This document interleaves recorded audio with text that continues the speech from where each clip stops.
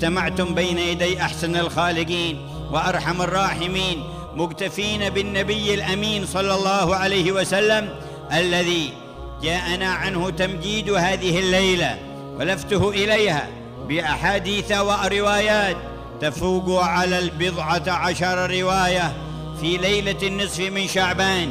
ما بين الضعيف الذي يقوى وما بين الحسن وما بين الصحيح يذكر فيها صلى الله عليه وسلم أن جبريل أتاه وأنباه بفضل الليلة وأمره أن يأتي أهل المقابر.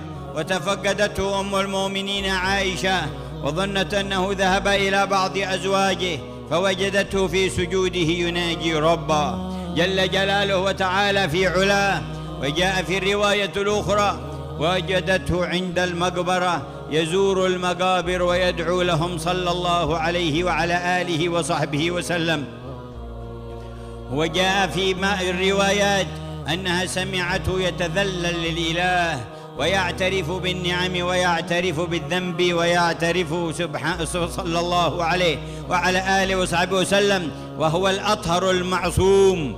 فينبغي أن نعترف وينبغي أن نتذلل في ليلتنا هذه للحق. وكان سيدنا علي بن أبي طالب يفرغ نفسه للعبادة في أربع ليالي في السنة ليلة أول ليلة من رجب وليلة النصف من شعبان وليلتي عيد الفطر والأضحى.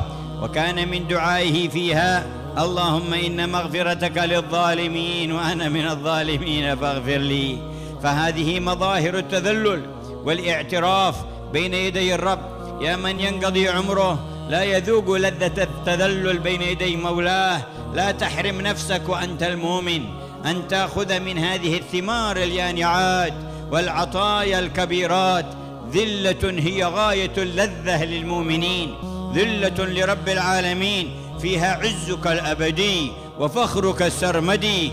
فلا والله لا يعز الله إلا من تذلل له وخضع لعظمته جل جلاله. واستكان لجلاله وأقبل بكليته عليه.